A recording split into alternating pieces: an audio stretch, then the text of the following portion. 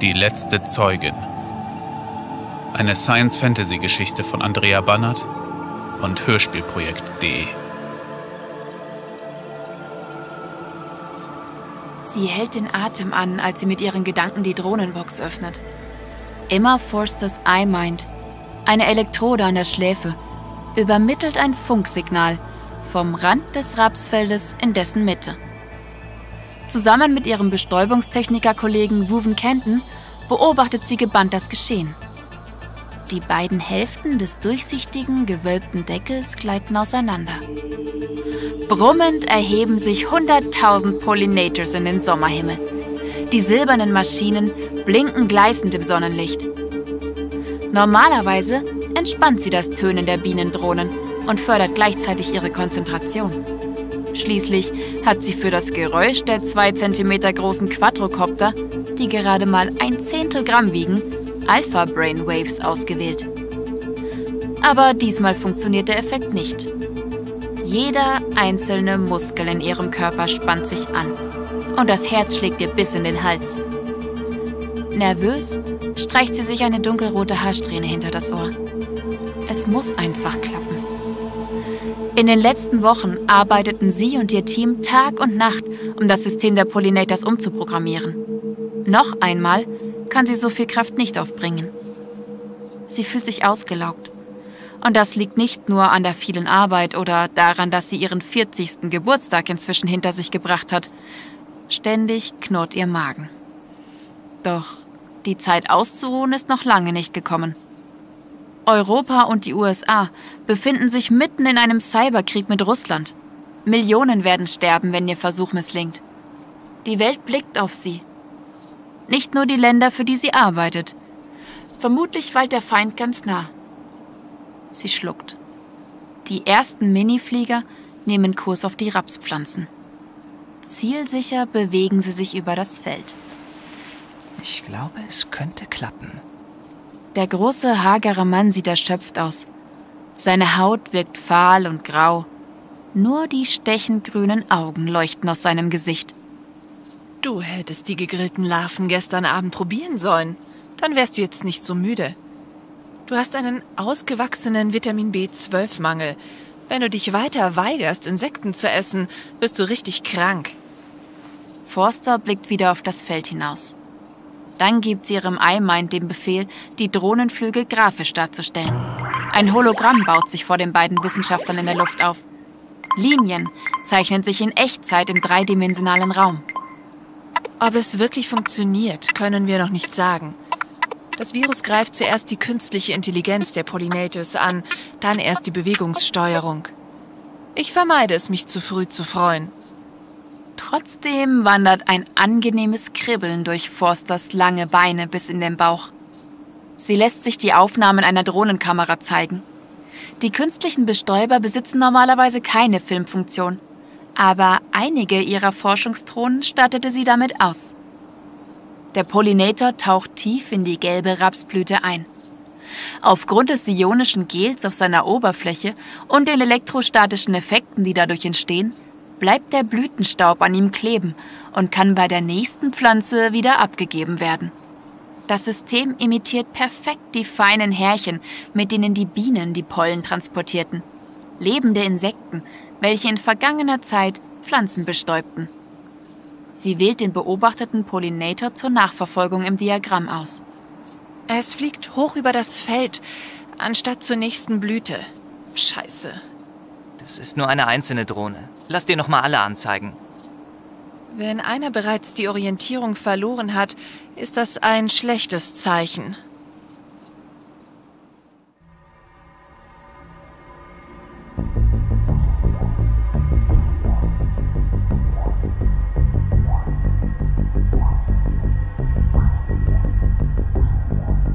Versteckt kauert Naoma West im Rapsfeld. Das 15-jährige Mädchen mit dem blonden Pferdeschwanz versteht es perfekt, sich zu verbergen. Ihr Leben lang musste sie vor anderen weglaufen, um ihr Geheimnis zu bewahren. Sie besitzt eine rätselhafte Gabe und das macht sie zur Außenseiterin. Nervös verlagert Naoma ihr Gewicht von einem Bein auf das andere. Diesmal wird sie nicht unsichtbar bleiben. Über ihr dröhnen viele tausend Pollinators. Die Drohnen interessieren sie nicht. Sie wünscht sich die Maschinen wieder vom Himmel, wie in den vergangenen Monaten. Kein Leuchten, kein Blinken, Summen, Singen und Tönen mehr. Die meisten Jugendlichen in ihrem Alter besaßen Pollinators. Je schriller die Farbe, je ausgefallener das Geräusch, das sie produzieren, desto angesagter. Ein Virus der Russen brachte die künstlichen Bestäuber zum Absturz und die Nahrungsmittelversorgung brach zusammen. Obst, Gurken und Tomaten verschwanden aus dem Angebot der Internethändler. Beim Gedanken an einen großen roten Apfel fließt ihr der Speichel im Mund zusammen. Aber schon der erste Bissen würde ihr Zahnfleisch bluten lassen. Vitamin C-Mangel. Die weltweite Früchteernte ging um 23 Prozent zurück. Die Gemüseernte brach um ein Viertel ein und 22 Prozent weniger Nüsse und Getreide konnten geerntet werden. Die Regierung verbot die Fleischproduktion, weil der größte Teil der Pflanzen als Futtermittel verwendet wurde. Die Menschen mussten sich einseitiger und ungesünder ernähren. Herz-Kreislauf-Erkrankungen und manche Krebsarten nahmen zu. Über eine Million Menschen starben bereits an den Folgen der Mangelernährung, darunter auch ihr Vater. Die aufkeimende Wut versucht sie zurückzudrängen. Sie braucht ihre volle Konzentration für das Objekt ihrer Begierde. Mit den großen runden Augen, die glubschig aus den Höhlen hervortreten, fixiert das Mädchen immer Forster. Die führende deutsche Wissenschaftlerin auf dem Gebiet der Bestäubungstechnik trug ihren Teil dazu bei, dass sich Deutschland in dieser Situation befindet. Dabei ist sie auch Biologin, spezialisiert auf die Bienen der Vergangenheit. Sie hätte es besser wissen müssen. Ernährung darf nicht von Maschinen abhängen, die anfällig für Cyberangriffe sind. Das liegt doch auf der Hand. Und trotzdem ist die Regierung dabei, genau den gleichen Fehler ein zweites Mal zu begehen. Da hilft es nicht, sinnlos an Seilen in den Bäumen zu baumeln und per Hand Blüten zu bestäuben. Lächerlich. Es dauert zu lang und es wird Obst und Gemüse für Menschen, die nicht arbeiten, unbezahlbar machen. Das betrifft nun mal einen Großteil der Bevölkerung. Naoma verfolgt einen anderen Plan, einen besseren.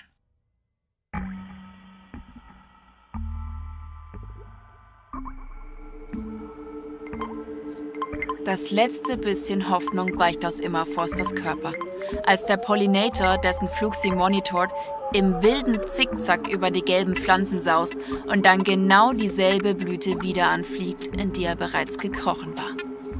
Ein Kloß bildet sich in ihrem Hals. Sie wischt hektisch auf dem Hologramm herum. Verdammt. Scheiße. Bleib professionell, Emma Forster. Sie möchte ihm dafür am liebsten eine runterhauen. Natürlich wird sie weiter funktionieren. Emma atmet einmal tief durch. Panik bringt sie keinen Schritt voran. Das Hologramm zeigt nun alle Drohnenflüge in einer Darstellung. Ein wildes Durcheinander von Linien. Wir müssen erst sicher sein, bevor wir das Ergebnis des Freiland-Experiments melden. Ich lasse alle Punkte rot markieren, wo sich ein Pollinator wiederholt längere Zeit aufgehalten hat. Arbeiten die Quadrocopter richtig, wissen sie durch künstliche Intelligenz, welche Blüten noch nicht angeflogen wurden. Die Bienen schafften es in der Vergangenheit mit gerade einmal 960.000 Neuronen, aus denen die Natur ein komplexes Minigehirn gezaubert hatte, eine verblüffende Orientierungsleistung auf ihren ausgedehnten Sammelflügen hinzulegen. Die entscheidende Programmierung der Pollinators tüftelte sie während ihrer Doktorarbeit mit aus. Immer Forster ist stolz darauf, dass es innerhalb kürzester Zeit gelang, die Eigenschaften der Bienen so gut nachzubauen, als es darauf ankam. Obwohl die Entwicklung von Bestäubungsrobotern weit in die Vergangenheit zurückreichte. Erste Versuche unternahmen Forscher bereits in den 2010er Jahren, aber sie scheiterten allesamt. Damals hatte das Bienensterben bereits begonnen. Die Hälfte der über 500 Wildbienenarten in Deutschland stand auf der roten Liste. Hummeln, Mauerbienen, Pelzbienen, Hosenbienen und Co. fanden nicht mehr genug Nahrung. Während die Honigbienen Zuckerwasser von ihren Imkern bekamen, wenn die Massentrachten der Monokulturen verblüht waren, starben ihre wilden Artgenossen. Hinzu kam, dass sich die Städte immer mehr ausdehnten. Besonders seit jeder an das selbstfahrende E-Autonetz angeschlossen sein wollte. Die Landschaften wurden zunehmend fragmentiert und der Genfluss zwischen den Bienenpopulationen oft unterbrochen. Inzuchteffekte gaben den Wildbienen den Rest. Mit ihnen verschwanden reihenweise Wildpflanzen und die Erträge in der Landwirtschaft brachen ein. Denn Wildbienen arbeiteten extrem effizient. Die langrüsseligen Hummeln zum Beispiel drangen tief in die Blüten ein und vibrierten zusätzlich wie ein Bass. Aber die Ernteverluste konnten ausgeglichen werden. Das Imkern gewann immer mehr an Popularität, gerade unter jungen Leuten, und die Zahl der Honigbienenvölker stieg. Solange es Imker gibt, existieren auch Bienen, hatten ausgewiesene Experten erklärt, und nichts wurde unternommen. Obwohl der Feind der westlichen Honigbiene bereits im Land wütete. Die Varroa-Milbe. Die blutsaugenden Insekten aus Asien schwächten die Bienen nicht nur durch den direkten Befall. Sie übertrugen auch eine ganze Reihe von gefährlichen Viren. Jedes Jahr rafften sie bis zu 40 Prozent der Bienenvölker dahin. Ohne das Milbengift, mit dem die Imker ihre Tiere behandelten, wären die Verluste weit größer ausgefallen. Zusätzlich wurden die Winter durch den Klimawandel immer wärmer. Gute Bedingungen für die Milben, die sich in den Brutwaben der Bienen vermehrten. Wenn es im Dezember bis Februar warm war, zogen die Bienen fast durchgehend Nachwuchs auf. Und dann kam jener ungewöhnlich heiße Winter, in dem die Milben ein mutiertes Virus einschleppten, welches so viele Bienen tötete, dass Imker die Verluste durch Teilen der Völker nicht mehr ausgleichen konnten. Einige Bienenhalter kauften Tiere aus Afrika, die zwar resistent gegen die Milben waren, aber den deutschen Winter nicht überlebten. Echte Bienen zu halten, war nicht mehr lukrativ. Ein durchschlagender Trend löste die Insekten ab. Die Pollinators. Jeder wollte die kleinen Bestäuberdrohnen besitzen und lebende Honigbienen waren Geschichte. Emma Forster starrt fassungslos auf das projizierte Diagramm. Erst leuchten einige rote Punkte in den Ecken, dann tauchen sie auch in der Mitte der mathematischen Darstellung auf und schließlich füllen sie das gesamte Feld, bis nahezu eine rote Fläche entsteht. Es hat nichts gebracht. Die ganze Neuprogrammierung war sinnlos. Wie haben die Russen es nur so schnell geschafft, das Virus anzupassen? Vielleicht ist diesmal wenigstens nur die künstliche Intelligenz betroffen. In diesem Moment stoppt das Brummen. Und die Drohnen fallen wie silberne Tränen in ein gelbes Blütenmeer.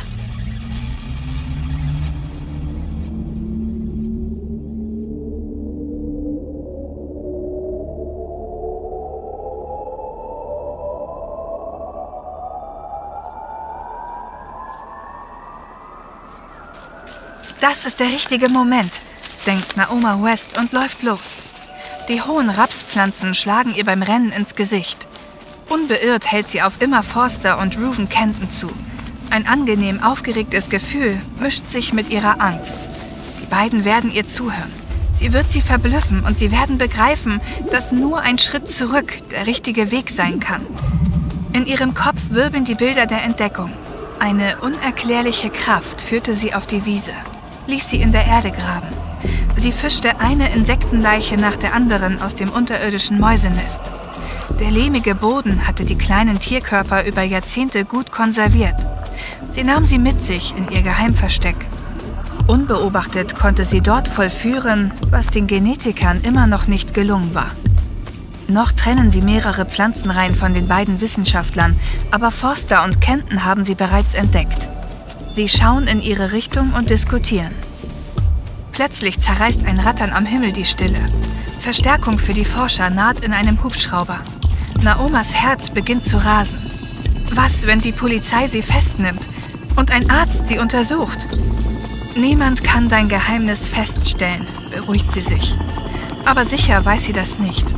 Gehirnanalysen werden immer genauer und fördern oft erstaunliche Dinge zutage. Sie muss sich beeilen. Ungeschickt stolpert Naoma aus dem Rapsfeld. Sofort packt sie Ruven Kenton und fixiert ihren rechten Arm im Polizeigriff auf dem Rücken. So, the best programmer the Russian government has to offer is a little girl.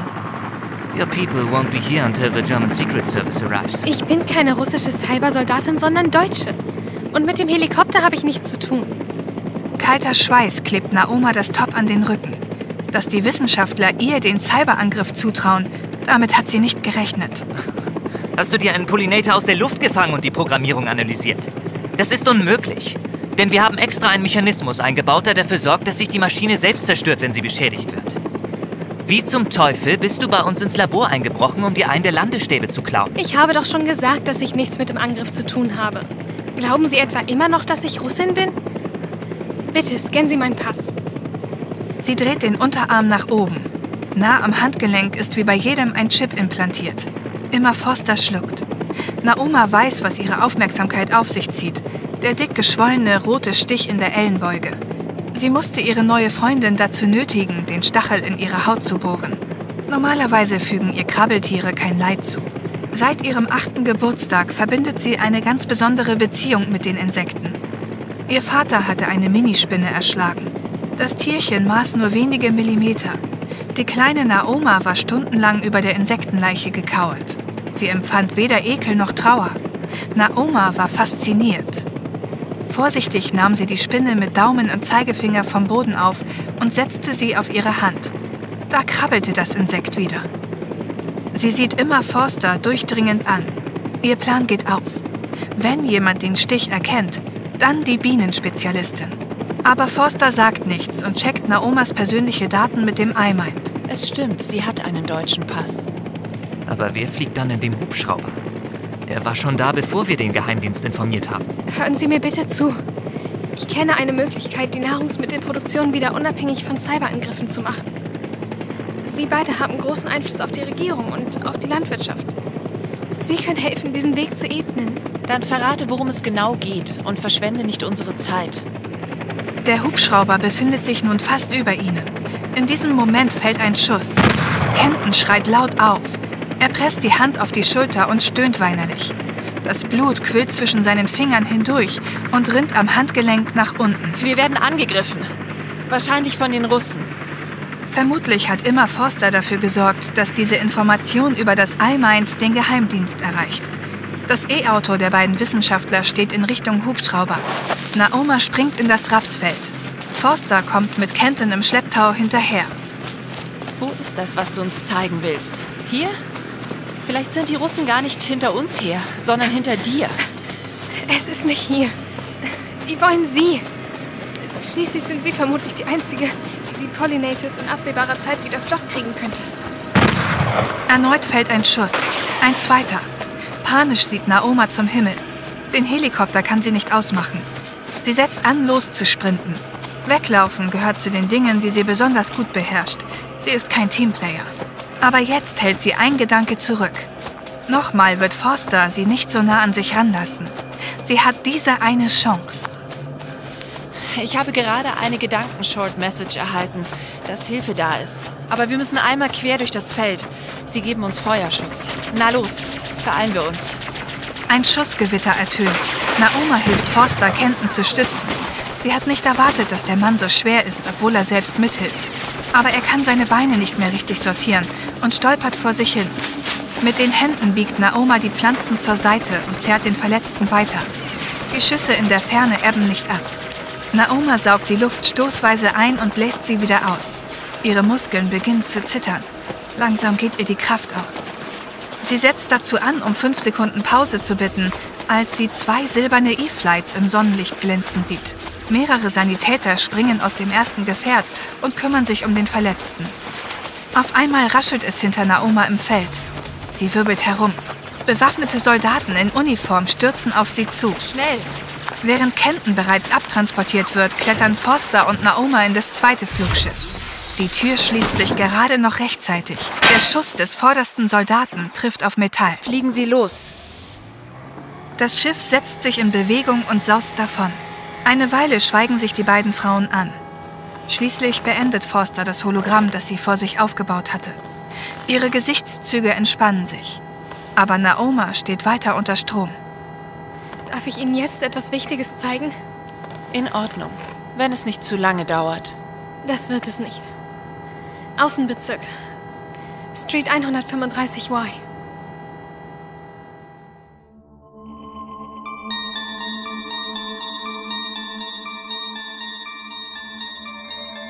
Naoma West drückt ihren Finger auf einen Scanner an der Tür, die sich daraufhin öffnet. Emma Forster folgt dem seltsamen Mädchen eine steile Treppe hinunter in den Keller.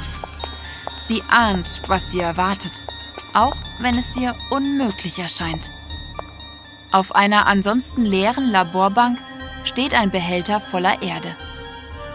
Obwohl sie nicht glaubt, dass er die Lösung ihrer Probleme birgt, pocht ihr Herz, als sie näher tritt. Sie hört ein leises Summen. Eine Seite des Terrariums ist abgedeckt. Mit einer theatralischen Geste schiebt Naoma das Plastik nach oben. Forster beugt ihren Oberkörper nahe an die Scheibe heran. Schwarze, haarige Tierchen mit zwei gelben Querbinden und einer weißen Hinterleibsspitze wuseln in den Gängen umher. Dunkle Erdhummeln. Sie waren einst die größte Art der zu den Wildbienen gehörigen Hummeln. Ein angenehmer Schauer läuft immer Forster über den Rücken. Das Mädchen öffnet den Deckel und holt mit der bloßen Hand ein besonders großes Exemplar heraus. Es misst fast drei Zentimeter und dürfte die Königin sein. Das Mädchen sieht die Erdhummel auf ihrer Hand mit glühendem Blick an. Vorsicht, sie wird dich stechen. Die Hummeln tun mir nichts. Ich bin ihre Herrin. Wieso hat bisher niemand sonst entdeckt, dass noch Wildbienen existieren? Die haben nicht richtig geguckt. Hm. Wie viele Tiere sind das? Hundert. Ich habe bereits einige nachgezüchtet. Selbst wenn eine weitere Population, vielleicht sogar eine zusätzliche Art auftaucht und sich die Bienen züchten lassen und Imker wieder lebende Insekten halten, werden sie die Welternährung nicht sichern, denkt Forster. Aber vielleicht können Wildbienen die Arbeit der Pollinators ergänzen. Trotzdem wird sie Drohnen in einer völlig neuen Computersprache programmieren. Einer, die das russische Virus so schnell nicht mehr infizieren kann. Schließlich schreitet das Insektensterben voran. Und niemand weiß, ob es sich stoppen lässt. Das ist nicht viel. Naoma sieht sie mit ihren Glubschaugen verzweifelt an. Aber es ist ein Anfang.